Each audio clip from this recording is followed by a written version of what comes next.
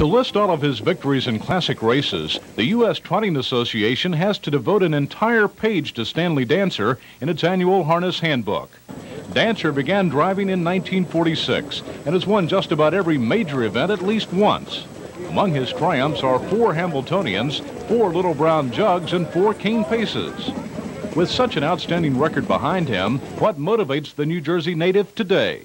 Well, I've been lucky and I have accomplished just about everything, but uh, I think the day I got so I couldn't drive would be the day I didn't want to live anymore, and uh, I enjoy it, and uh, it's like getting up in the morning, or maybe the doctor has to play golf. I have to drive horses, so it's just uh, something I love to do. Dancer has handled four harness horses of the year, including two-time winner Albatross but it was his unique driving style of sending horses to the front and going wire to wire that revolutionized the sport of harness racing. Well, they claim when I went to uh, Roosevelt in 1947 that uh, I was the one to change the style of driving, whether I did or not.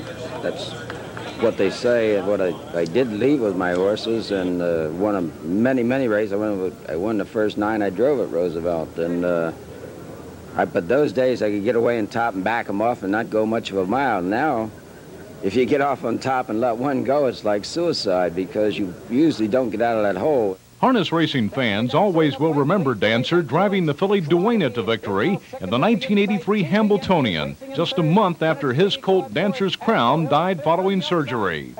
The death of Dancer's Crown and Duenna's subsequent triumph contributed to one of the most memorable Hambos in history. And Duenna has won the Hambletonian.